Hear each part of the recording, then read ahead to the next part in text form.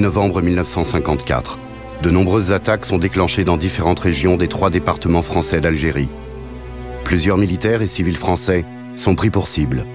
Le Front de libération nationale, qui lutte pour une Algérie indépendante, vient de tirer ses premières cartouches. C'est la première fois qu'un mouvement national algérien fait usage de la violence. Dans les mois qui suivent, les attentats du FLN se multiplient. Les autorités mobilisent l'armée. De son côté, une partie de la population civile européenne envisage d'organiser sa propre défense.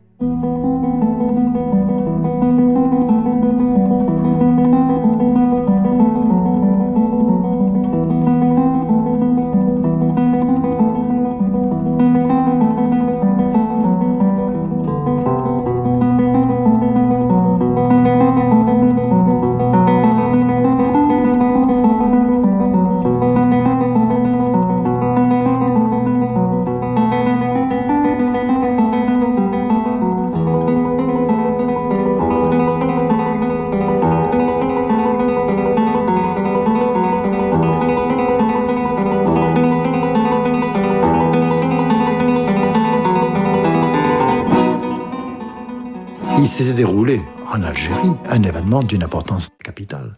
À Philippeville, le massacre des mines d'Al-Dalia et d'Aïnabid, où des, des Français d'Algérie, femmes et enfants, et nourrissons compris, ont été tués dans des conditions d'une horreur telle que cette horreur était prévue pour frapper l'imagination. Dans cette cité minière de Philippeville, les populations musulmanes et européennes se côtoyaient au travail comme dans la vie quotidienne. Le 20 août 1955, L'attaque était venue de l'extérieur, mais des ouvriers, mineurs, musulmans, se sont alors ralliés aux insurgés. Cet événement nous avait beaucoup marqué.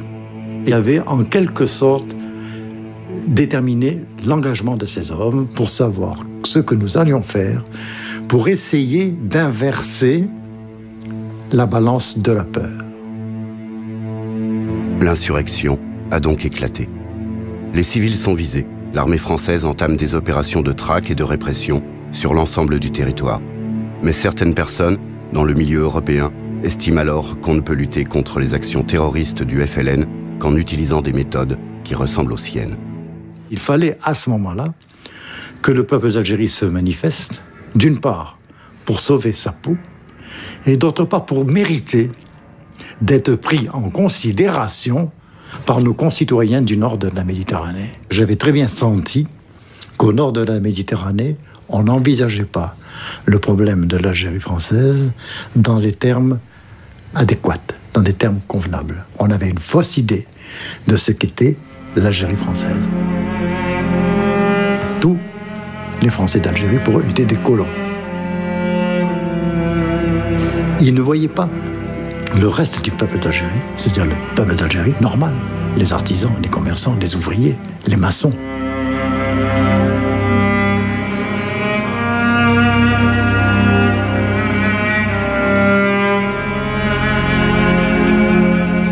En esprit, les gens de métropole avaient déjà accepté qu'un million de leurs concitoyens disparaissent de la carte du monde par quelque moyen que ce soit, pourvu qu'on ne parle plus de l'Algérie.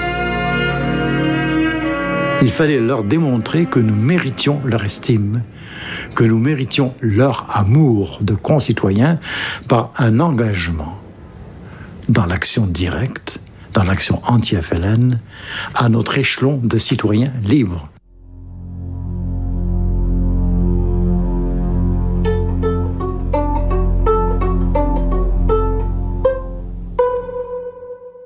Il y avait une volonté de tuer du FLN et de faire éventuellement un contre-terrorisme. C'est-à-dire qu'il ne s'agissait pas d'aller tuer du FLN d'élite. ils n'étaient pas à notre portée. Nous n'étions pas des militaires, nous n'étions pas des commandos. Nous étions des combattants de la rue, un mécanicien, des sapeurs-pompiers, des hommes sérieux, des hommes de famille et de toutes origines politiques même. La plupart venaient de milieux populaires et ouvriers. Certains étaient même des sympathisants de la CGT voire du Parti communiste. Je me souviens de Lorenz, quand il me racontait la guerre civile en Espagne. Je me souviens de José, un maçon, qui me disait Moi, j'étais le meilleur tireur de l'armée républicaine espagnole et qui était mon garde du corps personnel. Dans le contre-terrorisme, nous avons intéressé des gens, des policiers, qui sont venus auprès de nous pour nous transmettre des renseignements. Vous voyez là, nous sommes sûrs qu'il y a une concentration d'armes et d'uniformes, mais on n'a pas, on n'a pas les prétextes voulus pour euh, perquisitionner. On avait compris. On y allait le soir, on balançait trois grenades. Et Immédiatement, la police arrivait, fouillait, et ça permettait de sortir une affaire. C'était nécessaire pour survivre. Il fallait montrer son agressivité et en quelque sorte démontrer que nous étions prêts au combat. Et puis il fallait développer chez les gens l'envie de lutter. Ça n'a pas été un succès. Hein. Ça n'a pas été un succès parce que les gens nous traitaient de fous.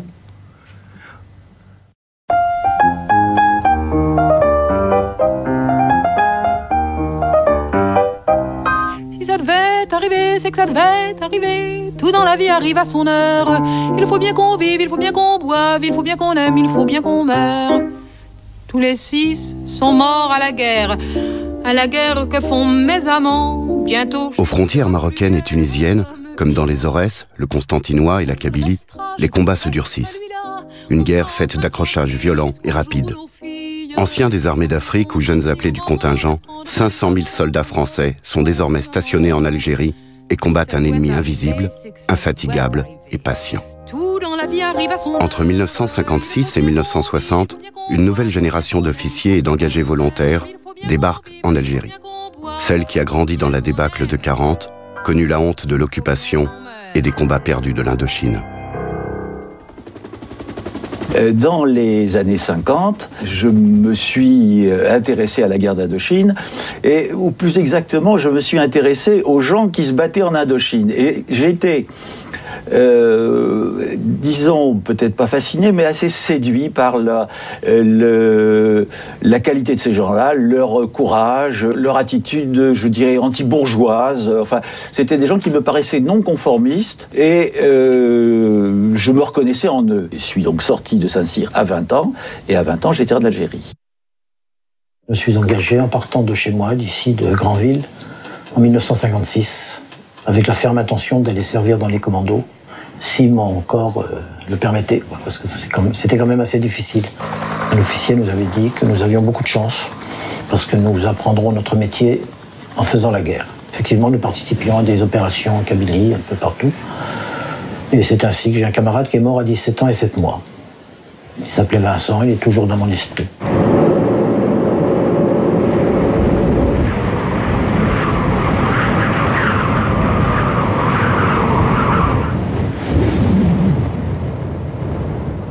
J'ai été affecté aussitôt au commando Jobert à partir du mois d'octobre 1957, à la frontière marocaine.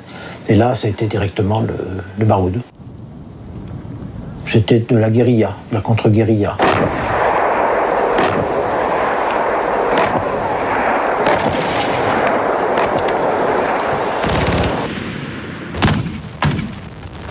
La première fois où je me suis fait tirer dessus par quelqu'un, il était à la distance euh, où nous, sommes tous les deux. Et euh, il m'a raté et je l'ai raté parce que nous étions probablement aussi impressionnés l'un que l'autre. Et c'est le métier, on va dire.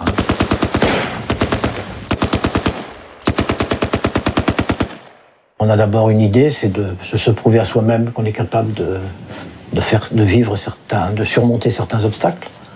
Et puis aussi de servir avec un S majuscule, ça fait rire peut-être maintenant. 50 ans après, est-ce que je le referai? Il ne faut pas, se poser la question. Il faut se contenter de, de regarder le passé avec le même regard qu'au moment où nous le vivions. Et effectivement, c'était, nous étions persuadés d'agir pour une bonne cause.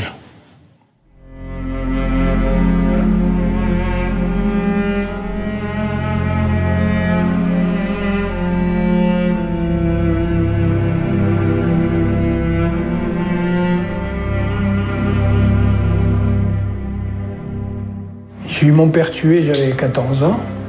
Il a été tué par le FLN alors qu'il était l'ami des Arabes. Alors il a été tué non pas par euh, les gens du coin, il a été tué par, par des terroristes qui sont venus d'ailleurs et qui l'ont assassiné. Il a blessé l'un de ses assassins. Il y a mis une balle dans la cuisse. Cet homme a été attrapé par une patrouille et il sera guillotiné, euh, je crois, le 31 mars 1957. Mon père a été tué six mois avant. Son père qui, travaillait, qui était bien vu par, les musulmans, on ne touchera pas un cheveu de M. Dubiton. Il y a un fou qui le, tue. Alors que tout le monde voulait qu'il n'aille pas continuer son travail. Il était inspecteur des eaux, il allait dans des endroits où qui se sont révélés très dangereux après. Mais il allait partout. Il avait la confiance des musulmans. Et on le tue. Comme j'étais un enfant difficile et que j'avais perdu mon père, on m'a envoyé en pension à Sidi Belavès. J'ai fait ma formation pré-militaire, parachutiste. Et puis un jour, j'ai décidé de quitter l'école pour me battre pour mon pays. Alors j'étais en forêt de Camissis, à quelques kilomètres de Sidi Belavès. C'est là où on entraînait les parachutistes des REP. Et comme j'ai fait mon stage là-bas, on s'est retrouvé quelques gars comme nous, moi, à dire nous on veut plus retourner à l'école, on veut aller.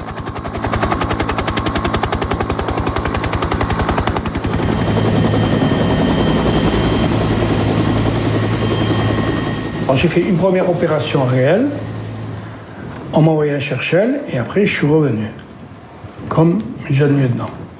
Les permissions, j'ai passé à Alger, sauf deux fois. La première fois, j'arrive habillé en parachutiste, en officier du REP.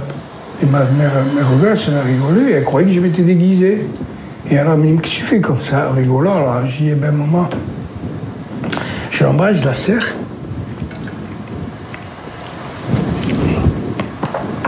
Et je lui dis, mais maman, je suis rentré dans la Légion. Elle s'est mise à pleurer. Je sens encore euh, ses sanglots. Elle pleurait dans la Voilà. Le souvenir que j'ai d'elle, la pauvre en particulier.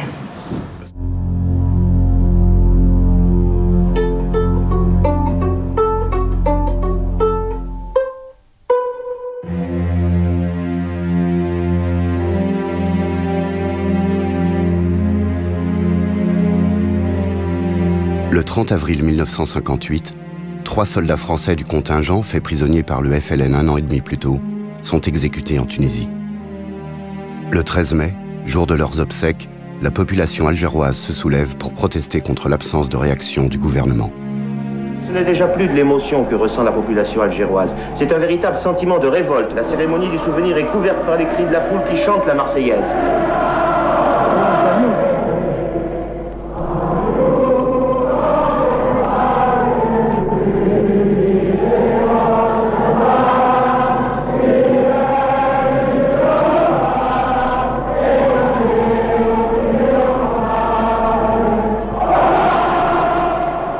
Capitaine de réserve Marcel Ronda, responsable des unités territoriales du centre d'Alger, se joint au mouvement à la tête de ces hommes. Nous avions le devoir de ne pas nous laisser faire, parce que la réaction n'a pas été suffisamment euh, euh, digne de la part des pouvoirs publics français. Et il fallait que la population manifeste sa solidarité avec ces, ces martyrs. Tout ça, chez nous, a été spontané, je l'affirme un mouvement de résistance, on était sensibilisés et alertés par la situation.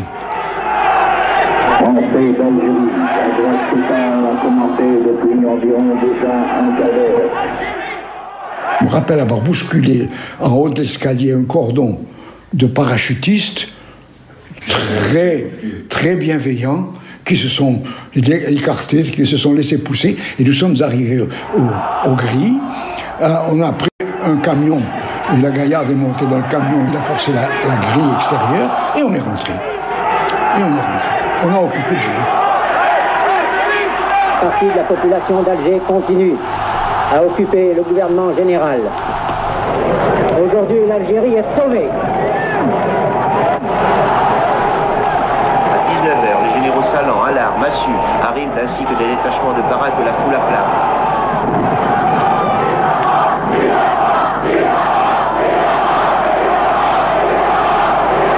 Là, nous sommes convaincus pour la plupart que la quatrième République n'est pas en état de vaincre le FLN et que par conséquent, il nous faut trouver, j'allais dire banalement, un sauveur.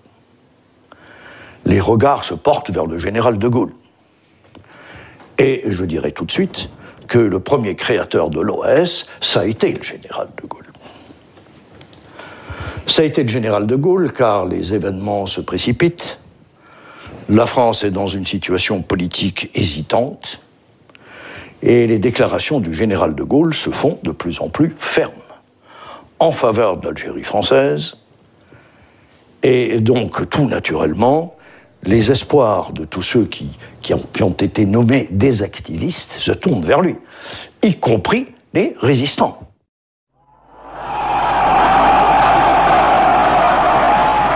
La crise du 13 mai entraîne le retour au pouvoir du général de Gaulle. Il arrive à Alger le 4 juin. À cet instant précis, dans l'esprit de tous, le général de Gaulle est résolu à maintenir l'Algérie française.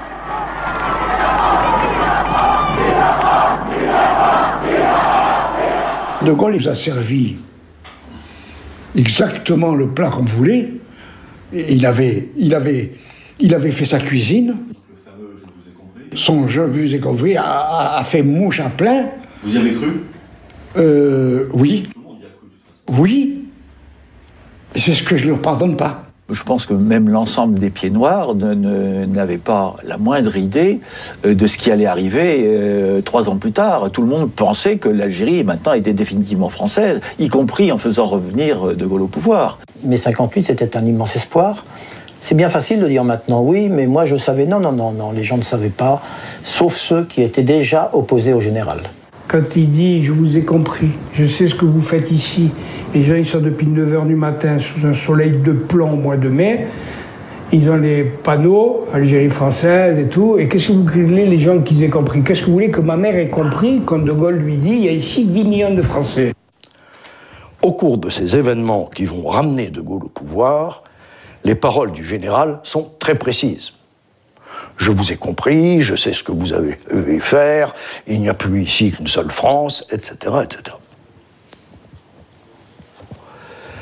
Et puis, petit à petit, le général de Gaulle effectue avec beaucoup d'habileté un virage politique, je dirais, très important.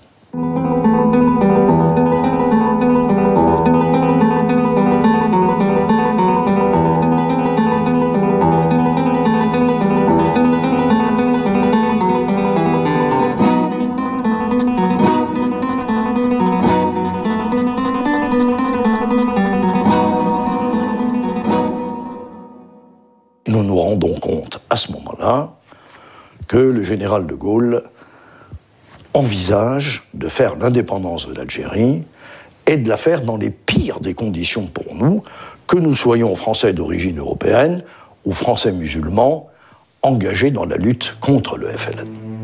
Le 16 septembre 1959, le discours de De Gaulle sur l'autodétermination marque un tournant décisif qui débouchera sur l'indépendance de l'Algérie. Le 16 janvier 1960, Massu critique ouvertement la politique du général dans un entretien accordé au journaliste allemand Hans Kempski. Le lendemain, les journaux en font leur une. Le scandale éclate. Massu est rappelé en France. Massu était incontrôlable, malgré tous les conseils qui pouvaient lui être donnés. Donc il a fait ses déclarations, pensant que De Gaulle allait être impressionné. Or, c'était une erreur terrible de penser que le général de Gaulle pouvait être impressionné par qui que ce soit. Massu savait très bien que les propos qu'il tenait allaient officiellement justifier son rappel à Paris. Il fallait qu'il se mette hors du coup parce qu'il avait, vis-à-vis des Algériens, une trop grande importance comme sauveur éventuel de l'Algérie française pour rester passif si se déclenchait quelque chose en Algérie alors qu'il y était. Le départ de Massu précédé par le départ d'un certain nombre d'officiers, d'ailleurs, qui ont été dégommés et renvoyés en Allemagne ou, en France, était très significatif pour nous. Donc c'est là où nous avons décidé de dire non. Ce départ de Massu, nous savions très bien qu'il était le préalable à la mise en route du dispositif de liquidation. Que nous ayons été provoqués pour déclencher quelque chose qui allait être écrasé, c'est possible. C'est possible. Nous avons effectivement déclenché quelque chose, mais ça n'a pas été écrasé. Le départ de Massu met le feu aux poudres. La grève générale est déclarée. Joseph Ortiz, le président du FNF, le Front National Français, mouvement politique qui milite pour l'Algérie française, s'adresse à la population. Les Algériens sont à l'heure actuelle de grands garçons. Ils ont atteint une maturité politique qu'ils n'avaient pas le 13 mai. Et ils sauront très bien faire à l'heure où il le faudra, ce qu'il doit faire pour conserver cette euh, terre à la France. Le 24 janvier, grève générale depuis la veille. J'essaye de rassembler. euh, et c'est un fiasco. C'est un échec complet. C'est un bide noir. Rien au plateau de Glières. La manifestation est, est un peu mitigée, les gens vont déjeuner, ils reviennent, euh, ça flotte un peu. Et je me rappelle que j'ai donné ordre à des patrouilles d'aller fermer les cinémas. Je fonce à Levallois, place des Trois Horloges, je m'attendais à un énorme cortège. Avec 200, au moins 200 ou 300 garçons en uniforme et casque lourd. Il a fallu passer un barrage du 3e RPIMA, avenue de la Marne. Notre chance, c'est qu'à ce moment-là, les parachutistes étaient armés ou de mitraillettes ou de carabines. Pas de fusil. Les fusils, ça fait plus mal dans la bagarre.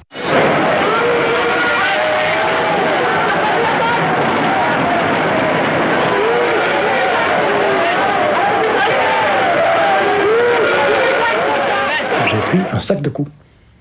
On arrive au lycée Bugeaud. Il a fallu déplacer tous les camions du régiment qui est tête à queue, comme ça, tous les GMC. Ben, les garçons sont bien.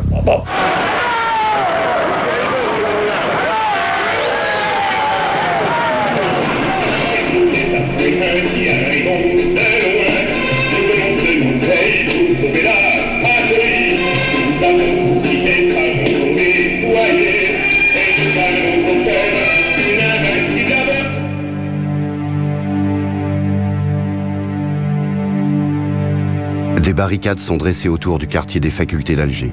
Des hommes en armes s'y retranchent. À leur tête, Pierre Lagaillarde, député d'Alger et ancien parachutiste, et Joseph Ortiz.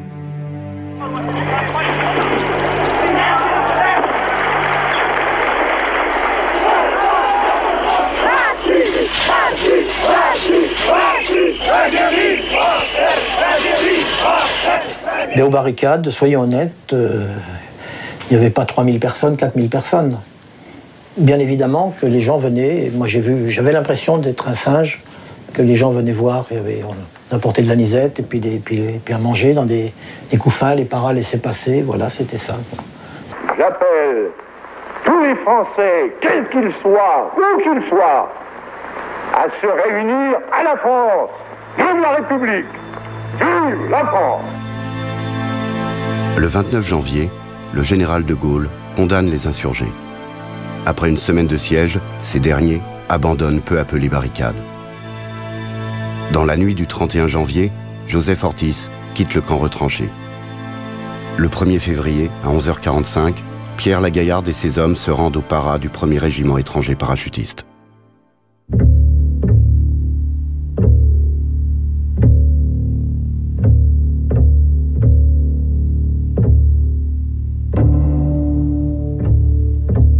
Dans les jours et les semaines qui suivent, les principaux responsables sont arrêtés et conduits à Paris pour y être jugés.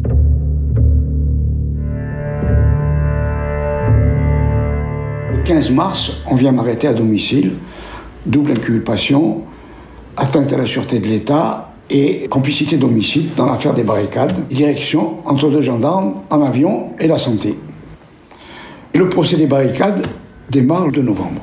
Nous restons cinq inculpés incarcérés, la Gaillarde, Jean-Claude Perez, Sugini, Ferral et moi-même.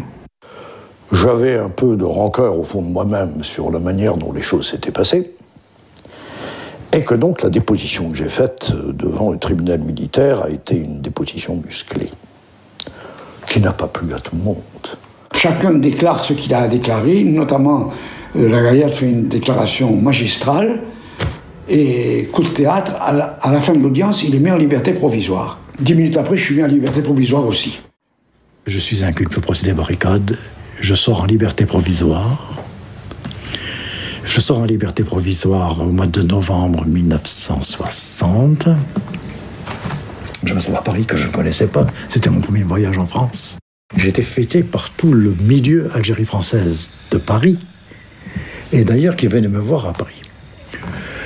Pour me demander ce qu'il fallait faire.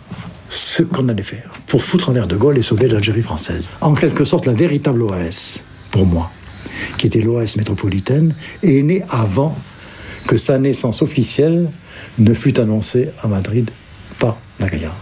Il, s'est évadé. Il s'est évadé de France et il a rejoint ça. Je dis à Suzini, tu sais, la gaillarde n'étant plus là, notre présence n'a vraiment plus d'utilité. Il y, a autre chose plus utile à faire. À 5 h du matin, on est monté en voiture et on est parti pour la frontière. Direction la frontière espagnole. Qui n'a pas été facile à passer. Parce que d'abord, il faisait un temps de chien, tempête de neige incroyable. Et quand nous sommes partis pour gravir les Pyrénées, pour monter avec notre guide, euh, il nous a fait comprendre que ça ne serait pas du gâteau.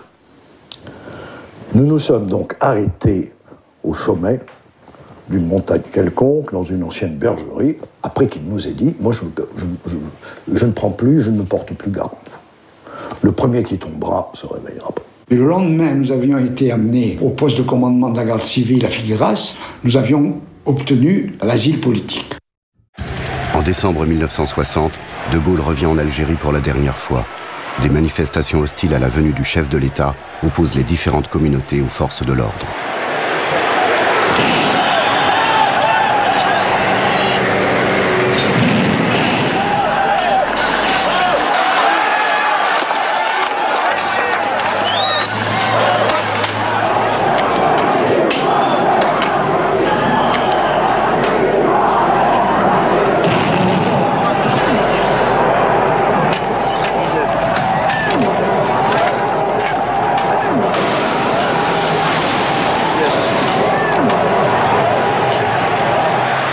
Officiel est de 127 morts et 600 blessés.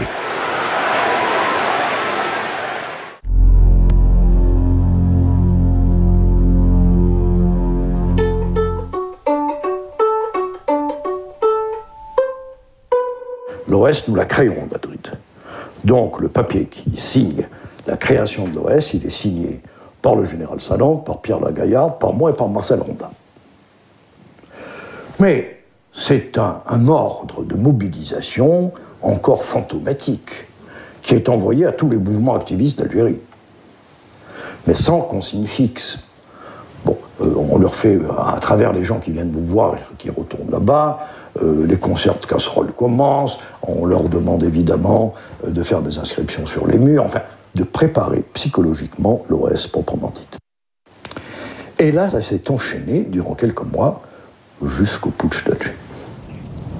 Pour certains officiers et hauts responsables militaires, la politique d'abandon du général de Gaulle est une trahison. On leur avait demandé de se battre pour garder l'Algérie française. Il est hors de question que le FLN, qu'ils avaient réussi à mettre à genoux, regagne par la diplomatie le terrain qu'il avait perdu par les armes. Putsch semble probable et imminent dans l'armée française. Le général Salan est contacté, pour participer au putsch. C'était la préparation du, du, dernier coup. Il y avait un dernier coup à jouer. Toute initiative personnelle d'opération de police sera impitoyablement sanctionnée. Se mettre immédiatement à la disposition des PC de quartier qui sont chargés de transmettre les ordres du PC. Le 21 avril 1961, les légionnaires parachutistes du premier REP prennent le contrôle d'Alger sous les ordres du commandant de de Saint-Marc. Ils ne rencontrent pratiquement aucune résistance, malgré la présence de nombreux gardes mobiles. Les gardes mobiles, ils n'ont pas fait les marioles. Là. Ils savaient qu'ils avaient les parades de la Légion. Hein. Ce n'était pas les civils. Les civils faisaient les marioles. Mais là, avec les parachutistes de la Légion, ils ne faisaient pas. Parce qu'ils savaient qu'il nous fallait 10 gardes mobiles pour un légionnaire. Hein. Alors, comme ils étaient pas assez nombreux, ils ne sont pas venus faire les marioles, bien évidemment. Les généraux Salan, Jouot, Chal et Zeller s'emparent du pouvoir en Algérie. Algériennes, Algériens, nous avons réussi à venir auprès de vous et auprès de vous. Nous resterons jusqu'au bout, jusqu'à la victoire que nous vous avions promise ici. Et cette fois-ci, nous la réaliserons. J'ai écrit une constitution. J'ai écrit un plan pour l'arrivée à Alger et les mesures à prendre, immédiates c'est-à-dire la mobilisation immédiate de la population européenne, etc., etc. Rien n'a été fait. En réalité, Charles ne voulait pas les civils. le général Salan était persuadé qu'il fallait la conjonction et l'alliance des civils et des militaires. Il a essayé de forcer la main dans ce sens à Chal qui n'a pas marché. Si la mobilisation générale avait eu lieu, ça posait au pouvoir de Paris un problème insoluble. Parce qu'en plus, nous avions l'armement en Algérie, pour au moins 100 000 hommes. Et il y aurait eu une réponse de la population européenne immédiate. Chal euh, était, un militaire sans ouverture. Et il s'était imaginé qu'il fallait qu'il suffisait d'amener à De Gaulle l'Algérie pacifiée pour que De Gaulle, qui n'en voulait pas, le bénisse. Et il a suivi son idée et ça a capoté. Mis au pied du mur pour un officier supérieur, un officier général. La rébellion, c'est le pire des péchés. L'armée seule a marché qu'en partie, et la population n'a pas bougé, pratiquement pas. Et en 48 heures, De Gaulle était, de nouveau le maître. L'armée de la République française n'était pas farouchement d'Algérie française. C'était le contingent, c'était 400 000 hommes, c'était 500 000, comme avait dit De Gaulle, 500 000 gars avec des transistors. Quand on dit l'armée, l'armée, l'armée, ben, c'était quoi l'armée au putsch? C'était des promesses, c'était une illusion. C'était quoi? C'était 3000 hommes. Mais qu'est-ce que c'est que 3000 hommes sur 500 000 Françaises, Français, aidez-moi au nom de la France. J'ordonne que tous les moyens, je dis tous les moyens, soient employés partout pour barrer la route à ces hommes-là en attendant de les réduire. J'interdis à tous soldats d'exécuter aucun de leurs ordres. C'était la fin. C'est-à-dire que les gendarmes, sur ordre, faisaient déjà mouvement. Nous sommes partis, nous étions encerclés. Donc, on a perdu. Et quand on a perdu, je me rappelle avec émotion, les camions étant revenus pour revenir à Zagranda, certains qui désertaient et d'autres qui se rendaient.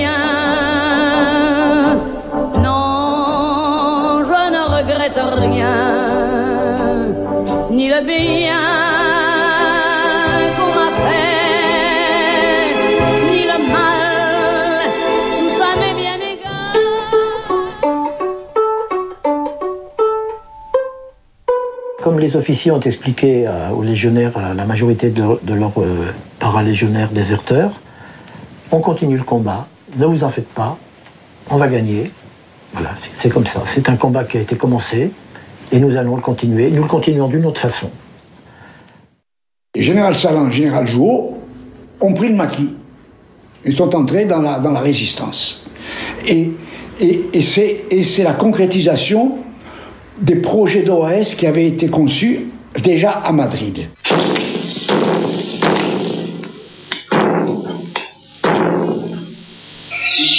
Radio France, la voix de l'Algérie française. Pour AS vous parle. Ouvrez portes fenêtres. Portez la puissance de vos récepteurs au maximum. Les réseaux pieds noirs antiterroristes, en sommeil depuis 1958, se réactivent. De nombreux militaires déserteurs les rejoignent. La première ossature de l'OAS est en place. L'organisation de l'OS au départ, c'est Godard qui en décide. Moi, il m'a confié l'APP, l'action politique, et, etc. Euh, Pérez, il lui a confié la branche renseignement action, avec, à vrai dire, un collaborateur qui était extrêmement efficace et qui s'appelait De Geldre. Il a donné à garde l'organisation de masse, l'OM. Donc ça, ça a été fait très vite. De Geld avait ce qu'on appelle les Delta, qui était une organisation opérationnels qui correspondaient à Alger au 20e de l'effectif des opérationnels. Pas plus. Hein. Parmi lesquels il y avait beaucoup de gens d'anciens du FNF et des premières actions antiterroristes. Les commandos Delta du lieutenant de Gueldre, l'élite combattante de l'OS, le fer de lance, dira de Gueldre, sont au nombre de 12. Ils sont composés de légionnaires déserteurs et des civils les plus résolus. Les plastiquages et les exécutions de sympathisants gaullistes et de membres actifs du FLN s'intensifient. Du 20 juin au 28 juillet 1961, 145 bombes sont posées à Alger, 125 à Oran et 110 sur le reste du territoire. Quand il y a une opération à faire, parce que le renseignement il est, il est, il est chaud et qu'il faut le traiter tout de suite, c'est nous qui faisons. Alors nous, c'est. Notre équipe, l'équipe de le commando Franck. On était une douzaine. On avait six ou sept permanents. C'est-à-dire on était payé 800 francs un père de famille. Il y en avait deux. Tout le reste des célibataires, 600 francs. Nous vivions comme nous pouvions, on travaillait la journée, on dormait la nuit, mais toujours dans, des, caches. Et de temps en temps, on changeait de cache. Il y avait un agent immobilier qui avait toujours un, truc euh, qui était de notre, qui avait toujours un appartement libre en attente. Organisé, on avait de l'argent quand même. Il y avait des collectes. On n'était pas, pas démunis, donc on pouvait payer un loyer, on pouvait payer, un- etc. Une fois, ma femme est venue me voir en prenant plusieurs relais, et puis c'est tout. C'est tout. Et alors, parce que j'étais connu comme le loup blanc, il fallait pas que je sorte trop. Alors j'étais moustache, et lunettes, et, et tout et tout. hein, ben, bref. Mes journées étaient organisées de manière laborieuse. J'ai toujours beaucoup travaillé dans ma vie. Donc, je me levais, un homme de chez nous venait me chercher, m'amenait au PC qui avait été désigné pour la journée. Là, au PC, je commençais d'abord à lire toute la correspondance qui nous parvenait. Et tous les rapports. Ça, c'était la première chose. Après, je donnais mes propres instructions. Mais au départ, des choses très simples. Qui allaient faire nos affiches. Je m'occupais de tout. Après, j'avais une rencontre par jour avec De Gueldre. De Gaulle venait me voir tous les jours, suivant mes PC. Il venait avec ses bulletins de renseignement. Alors, on, on contrôle. Parfois, il me demandait de faire compléter des renseignements par le BCR. D'autres fois, il venait me dire ce qu'il pensait d'un renseignement qu'on lui avait donné.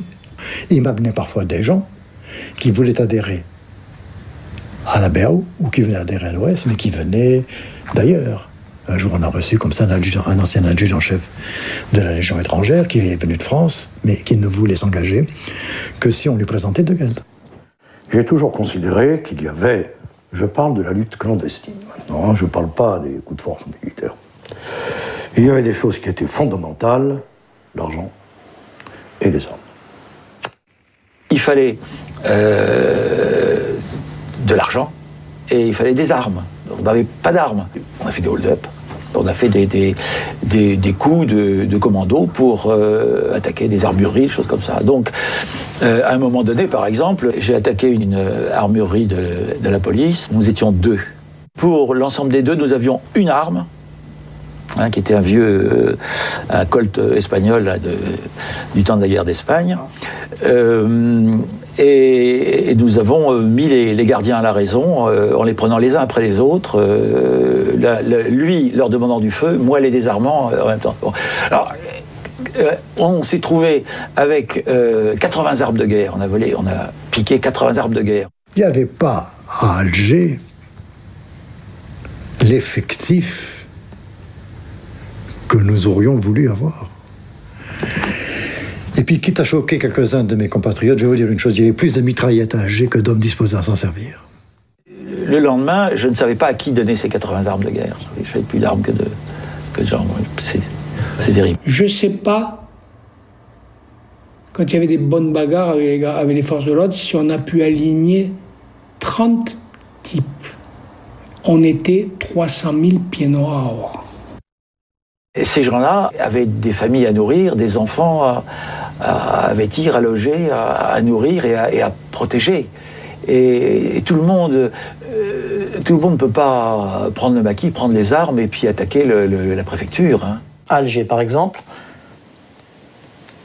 c'était pas 300 hommes capables de faire des actions de guérilla de se retrouver dans la peau du FLN. Si vous tapez sur des casseroles, euh, peut-être que les, les, policiers vont venir vous embêter, euh, mais on va pas vous mettre en prison et en tout cas on va pas tirer sur vous si si vous faites la guerre et ben et on vous prend et éventuellement on vous tue.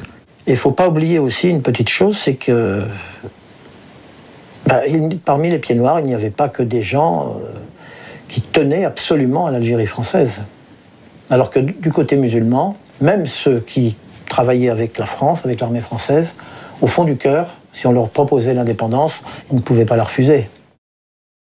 Le 31 mai 1961, l'OAS exécute le commissaire divisionnaire Roger Gavoury, très impliqué dans la lutte anti-OAS. Il est poignardé à mort par des hommes du commando Delta, mené par le sergent déserteur du premier REP, Bobby Dovkar. Il a été tué dans un studio euh, qu'il qu louait lui-même et dans lequel un ou deux Delta étaient rentrés. Mais nous savions aussi que c'était un ennemi mortel. Pourquoi? Mais parce que nous étions au courant des interrogatoires, parce que tous les policiers n'étaient pas du bord de M. Gavoury, n'est-ce pas? Et que donc on voit sur un tas de choses comme ça, en ce qui concerne les militaires comme en ce qui concerne les policiers. Il y avait ce qu'on appelle un renseignement offensif, qui était fait par des gens que nous envoyions, que, qui, qui travaillaient dans des collectivités. Alors, il y en avait plein chez les policiers. Dans toutes les administrations, nous avions des agents de renseignement offensifs qui allaient à la quête de renseignement. Si nous avons tué des policiers, c'est parce que nous avons été renseignés par des policiers. Et donc nous savions quels étaient les sentiments de M. Gavoury et la manière dont il pensait et il était résolu à conduire son action. Informé par un indicateur, la gendarmerie cerne la villa où se cachent les deltas qui ont participé à l'exécution du commissaire Gavoury. Une fusillade éclate les survivants du commando sont arrêtés.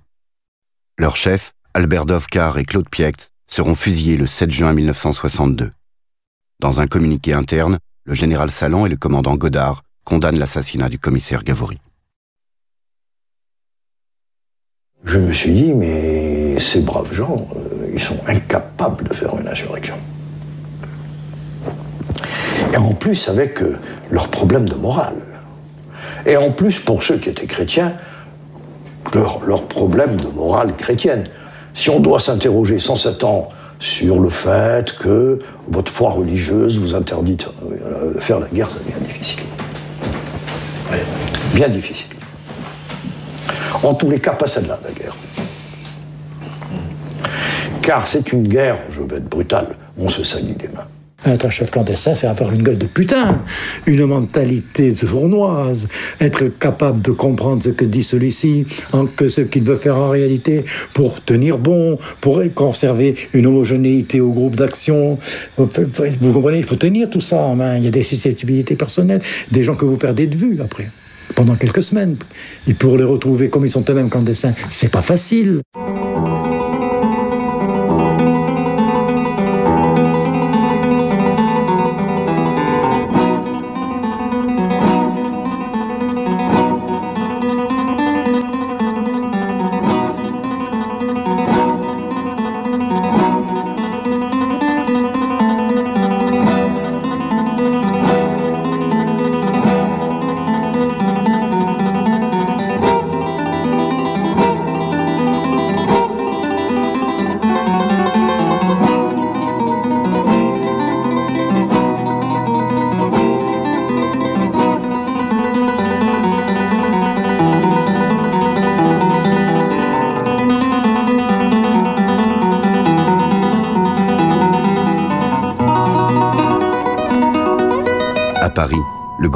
Réagit aux opérations de l'OAS.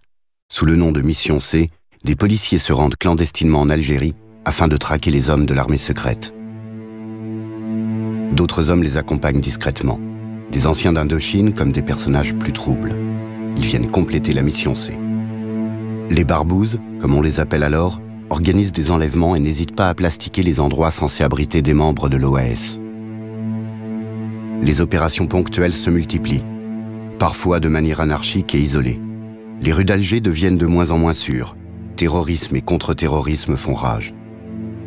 Il est alors très difficile de faire la part des choses et de nombreux meurtres anonymes sont imputés à l'organisation secrète.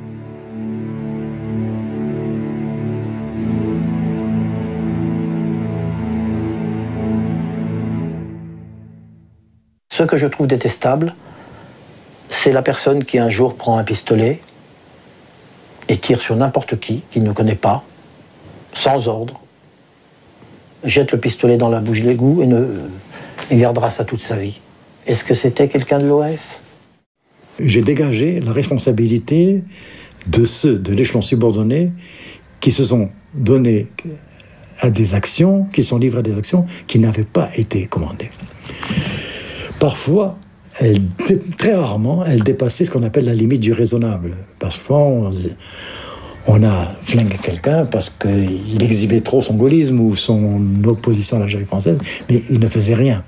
Ils estimaient qu'il était très dangereux par son verbe, par, c'est ce que je disais tout à l'heure, par sa présence. Et le fait de le laisser impuni démontrait en quelque sorte notre faiblesse. Et pour affirmer notre force, il, il leur fallait, à ces garçons, le tuer. Je m'excuse de cet horrible mot, parce qu'ils disaient si on ne le tue pas, on est des rigolos. Il n'y avait pas de solution intermédiaire. C'est le drame des actions clandestines. C'est que quand vous avez une sanction à prendre, et en particulier une sanction à l'intérieur de votre propre dispositif, vous, ne pouvez pas mettre quelqu'un aux arrêts de rigueur. Ou bien il est gênant et vous l'éliminez, ou bien il est gênant et il se range. Mais dans un cas comme dans l'autre, si c'est pas l'adhésion, c'est l'élimination. Il n'y en a pas eu de masse. Hein. Été amené à faire quelque chose euh, euh, d'extrêmement euh, difficile pour m'imposer. Hein, J'ai été amené à faire quelque chose que tout le monde voulait faire et que personne n'osait ou ne voulait faire. Je, ne peux pas en dire plus. Par, il y a eu mort d'homme et donc je, je- souhaite. Mais si vous voulez, on voit bien que dans un, euh, tel climat de clandestinité, euh, chacun a tendance à euh, se trouver des objectifs euh, en pensant bien faire et, euh, euh, et où tout le monde veut être le chef et personne ne veut, où on, on- est chef et on exécute, c'est-à-dire qu'il y a autant de chefs que d'exécutants. C'est une immense gravité.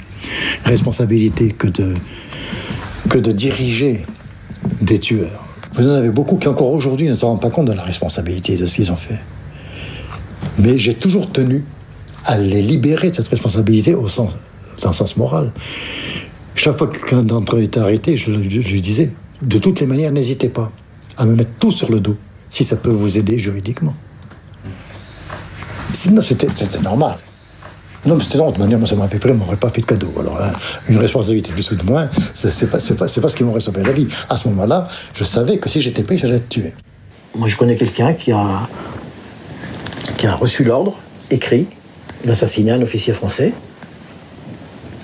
Il l'a fait. Et au tribunal, euh, l'officier qui lui avait donné l'ordre euh, a prétendu que c'était pas vrai.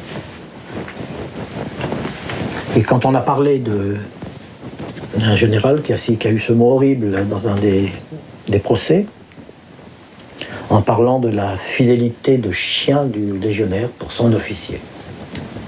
Il y a souvent aussi ça, ce lien avec l'homme qui vous a commandé. Je l'ai écrit et je l'ai dit à la télévision lors d'une émission de 89, je crois, que j'étais responsable de 600 morts dans la Grande Alger. J'en ai assumé la responsabilité, non pas pour me vanter, mais pour dégager ceux qui ont exécuté. D'une part. Et j'ai dit que je les regrettais. Je dis encore aujourd'hui que je regrette tous les morts dont je suis responsable. Pourquoi je regrette? Parce que je suis un homme normal. Ma vocation, c'était pas de tuer, moi, et ni de faire tuer, ce qui est plus difficile que tuer. À vivre.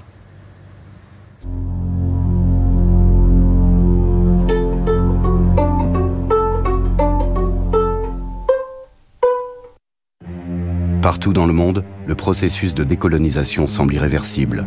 Pour De Gaulle, l'Algérie est devenue un boulet dont il faut se débarrasser au plus vite. Les Français aspirent à la paix et à la prospérité. Ils sont là d'une guerre qui n'en finit pas. Les soldats perdus de l'OAS incarnent à leurs yeux des valeurs d'un autre temps. La cause pour laquelle ils se battent est de plus en plus désespérée. Le 18 mars 1962, les accords d'Évian sont signés entre la France et le GPRA. Un cessez-le-feu entre l'armée française et le FLN intervient dès le lendemain.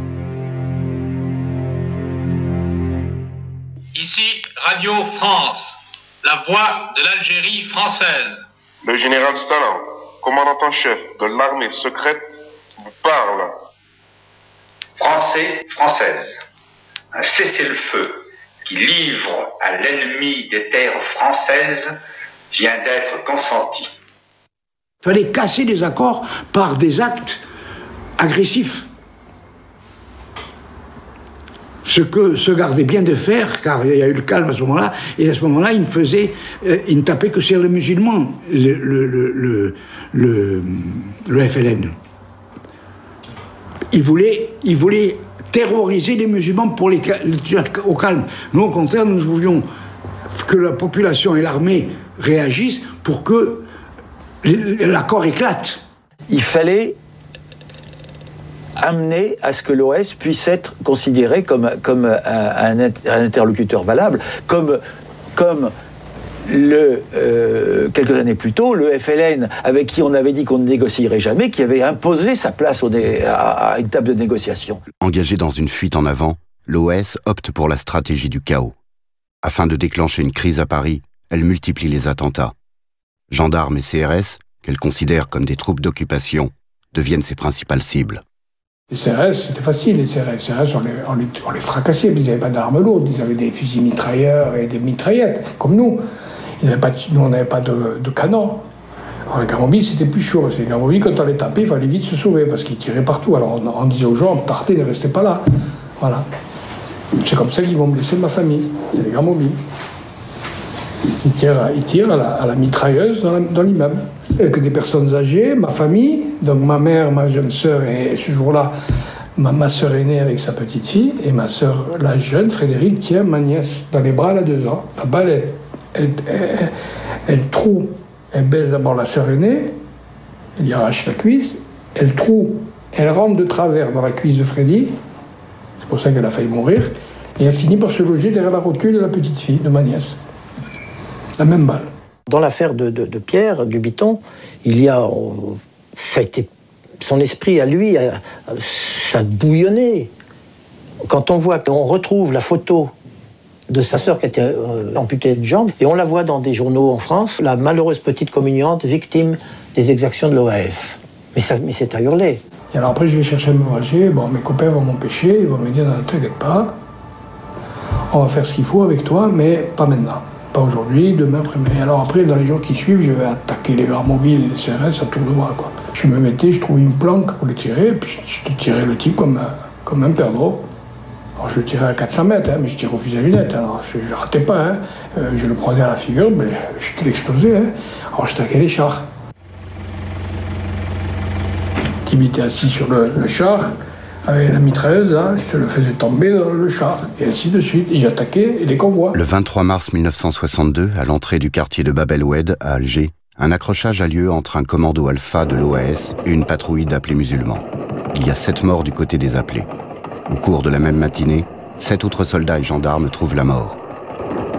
En représailles, les forces françaises encerclent Bab et la coupent de l'extérieur les militaires se livrent à une répression massive contre ce vaste faubourg de 50 000 habitants, véritable fief de l'OAS.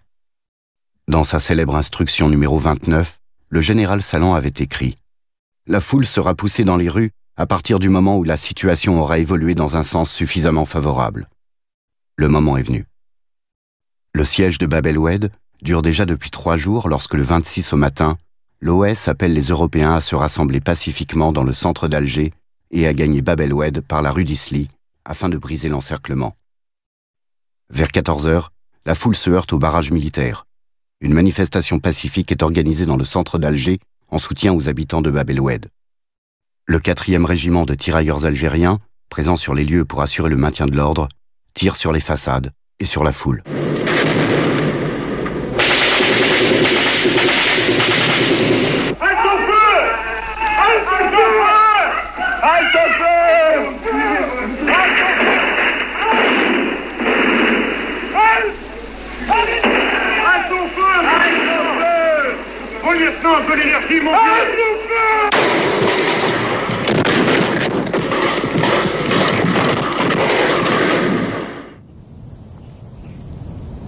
Le massacre dure 10 minutes. Aucune liste précise des victimes n'a jamais été établie à ce jour, mais on comptera entre 60 et 80 morts et plus de 150 blessés. Le 7 avril, une réunion rassemblant les principaux responsables de l'OAS Pérez, De Gueldre, Branca et d'autres capitaines, se tient dans un appartement des Hauts d'Alger. Renseigné par un légionnaire allemand déserteur, la police et la gendarmerie cernent l'immeuble. À l'intérieur, les hommes de l'armée secrète ne se doutent encore de rien. On est tellement, pour une fois, axé sur le thème que nous étions en train de, sur lequel nous réfléchissions, qu'on n'a pas regardé la fenêtre. Les rideaux étaient tirés pour des raisons de sécurité, facile à comprendre. On ouvre les fenêtres et on voit tout le dispositif de gendarmerie avec les mitrailleuses braquées non pas sur nous, sur les fenêtres ambiantes. Parce que la technique du bouclier humain, elle était inventée par les gendarmes en Algérie contre les pieds noirs.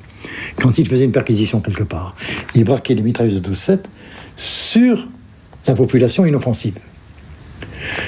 Pour la prendre en otage, si nous avions des velléités de résistance, ils tiraient sur des innocents. Moi, j'avais préparé une cache, un placard divisé en deux. J'ouvre la cache et je dis, nous allons tous y rentrer, on va y rentrer cinq ou six. Et De Gaulle dit, moi, je rentre pas. Il dit, ouvrez-moi la porte, je fous. Muni de faux papiers, De Gueldre tente de franchir le barrage de gendarmerie. Il est contrôlé et arrêté par le lieutenant Giudicelli. Giudicelli était le neveu d'un de mes responsables du BCR. Il dit, mais mon, mon, neveu était pour nous. Il savait très bien ce que je faisais. Et il savait très bien que je travaillais souvent avec toi. Il y avait des complicités, parfois même chez les gendarmes les plus terribles. Ce qui veut dire que si De Gaulle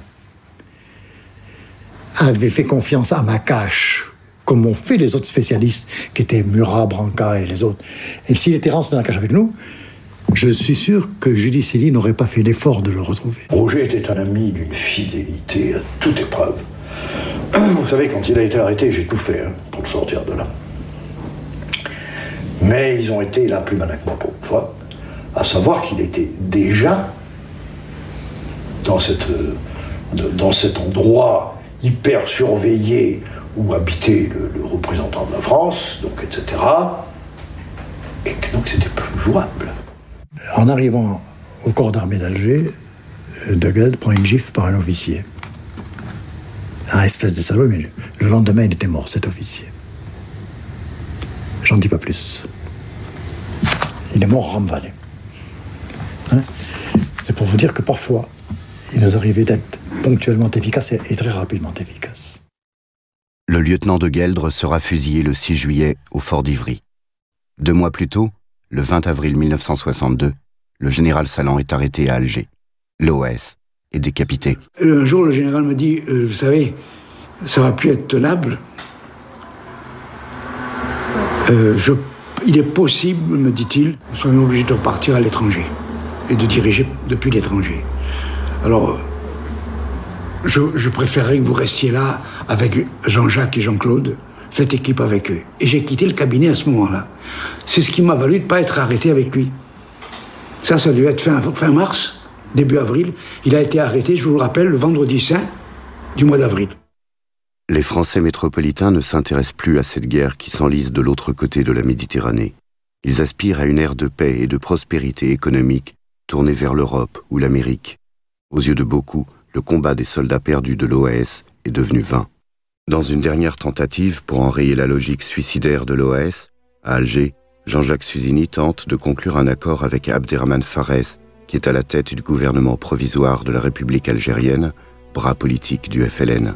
L'objectif des deux parties est de maintenir aux frontières l'armée de libération nationale algérienne stationnée en Tunisie et au Maroc.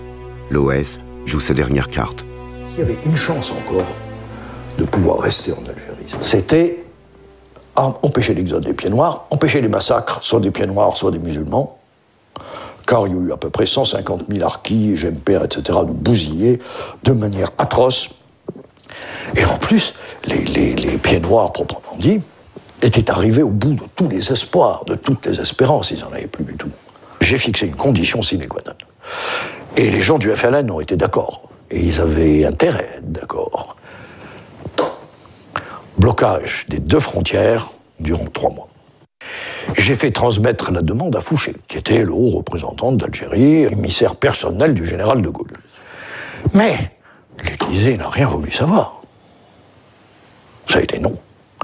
Et là-dessus, on a fait une nouvelle réunion, OS, FLN, en se disant, dans ce cas-là, on est obligé de se quitter, on n'a plus aucune chance. Les dernières négociations échouent, et certains Européens choisissent la politique de la terre brûlée. Ils préfèrent alors détruire les biens qu'ils ne peuvent emporter plutôt que de les voir tomber entre les mains des hommes du FLN, ou pire, de l'ALN. Des commandos Delta font sauter et incendient plusieurs bâtiments officiels qui symbolisent le rayonnement de la France en Algérie.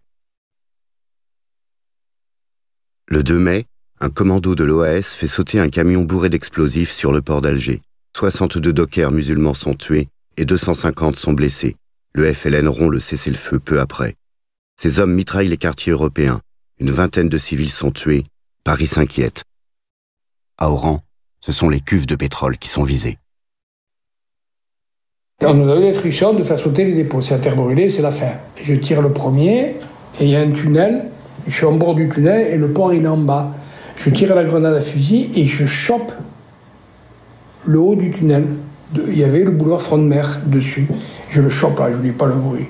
La grenade, elle explose à 20 mètres de non seulement comme un ni l'un ni bon. Alors, que je vais faire? Je vais retirer une deuxième fois avec lui, et alors je lui dis à Toulouse, on avance. Et donc Toulouse et moi, on tire, et on met les deux dans la, dans la, dans la cuve. Et la cuve va prendre feu.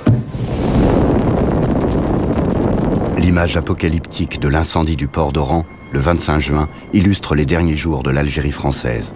Des centaines de milliers de pieds noirs tentent par n'importe quel moyen de fuir ce pays qui les a vus naître, abandonnant tout derrière eux. Leur seul choix, la valise ou le cercueil. Si vous n'avez pas des sous pour partir, vous partez pas. Et nous, si vous ne partiez pas de là-bas, ils vous tuaient, comme ils ont fait à Oran, mais comme ils ont fait dans la campagne, comme il y en a qui ont disparu. Parce que ça faisait trois mois que les gens ils disparaissaient, hein, dès le mois de mars. Hein. Il n'y avait plus qu'à s'en aller et à dire aux gens partez. Il n'y avait plus aucune chance. Là, la seule chance, c'était d'empêcher durant un certain temps l'ALN d'entrer en Algérie. Car sans ça, c'était les massacres inévitables. L'exode des pieds noirs se fera dans des conditions épouvantables. Rien n'avait été prévu pour les accueillir en France. À Oran, plusieurs centaines d'Européens sont assassinés dans les rues ou arrêtés pour être exécutés en dehors de la ville. Quant aux Harkis, le gouvernement français s'opposera à leur rapatriement et la plupart finiront massacrés sur place par le FLN. Les massacres de Harkis ont, commencé à peu près au moment de, euh, des accords de cessez-le-feu du, du 19 mars, et que les instructions ont été données de Paris aux troupes euh, françaises de ne pas ramener les harkis dans leurs bagages. Quand ils ont été démobilisés, les harkis, juste à la fin, ils sont rentrés chez eux. Quand ils sont rentrés chez eux, ils les ont pris, ils les ont coupés en tranches. Voilà, voilà ce que la France a été capable de faire pendant longtemps. Et ça, ça c'est dramatique. On n'avait pas le droit de faire ça. Qu'on peut on peut se dégager d'un pays, euh, quel que soit, mais c'est les conditions. C'était le désespoir, la pagaille, l'indignation. L'indignation et, le spectacle de l'échec. C'était très dur à supporter. Mais enfin, là, j'avoue que j'étais un peu préoccupé par mon sort personnel. J'avais que, euh, j'avais fait tout ce que j'avais pu. Maintenant, il s'agissait de partir. Comme on ne se battait plus, qui est-ce qui était obligé de changer de plan? J'étais balancé sans arrêt on, a essayé de me faire prendre. On m'a balancé. Je ne me suis pas laissé prendre. Alors à ce moment-là, à partir du moment où ta sauvegarde est liée au flingage des autres qui, avaient été tes frères d'armes, parce qu'ils étaient tenus en main par quelqu'un qui lui-même était passé dans un camp qui n'est pas le tien, mais tu pars. Tu pars. C'était mieux pour les autres. Avec mes, mes jeunes officiers, on se disait, euh, on n'a pas envie de partir. Ben, Qu'est-ce qu'on va faire? Bon. Or, le Constantine s'est donc vidé de ses habitants et ceux qui sont restés les derniers nous ont dit ben maintenant, il faut que vous partiez, parce que si vous partez pas, vous allez vous faire piquer et, nous avec. Je suis parti le dernier avec le plus jeune des, sous-lieutenants. Et donc, nous avons pris le bateau le, le 2 juillet. Les Commonwealth, je vous dire, il n'y en a pas un seul à Oran et à Alger le 5 juillet. Ils sont tous partis, ils sont pas fous les types. Hein. Moi j'ai un copain moi qui fait sauter le monument aux morts, celui qui était le plus jeune, tout seul, le double 3 juillet, il est encore là-bas. Mais il s'est taillé avant le 5. Hein. Il a fait tout seul à, à 17 ans, 18 ans, il a fait sauter le monument aux morts d'Oran.